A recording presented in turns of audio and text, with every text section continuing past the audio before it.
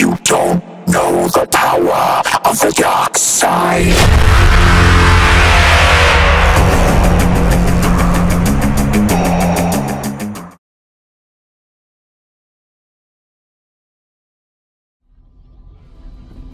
Situation's almost under control out there. How's it going in here? I'm still trying to decrypt Echo's cerebral interface. Until I do, we cannot disconnect him from this computer system.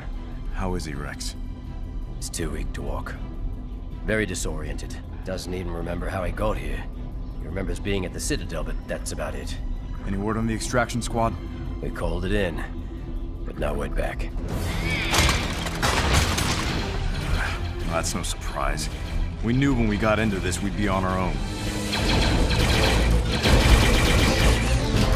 It's gonna get more difficult to get out of here. There's several squads of droids closing in.